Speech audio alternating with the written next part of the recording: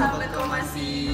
Di sini Komasi mengadakan seminar dan workshop yaitu tentang database yang di mana database ini kita mempelajari dari hal dasar sehingga hal yang lebih mendalam seperti belajar banyak dan penting juga database ini untuk kita tugas skripsi dan tugas lain dan pribadi Raharja ini bisa mengimplementasikannya dalam kehidupan sehari-hari.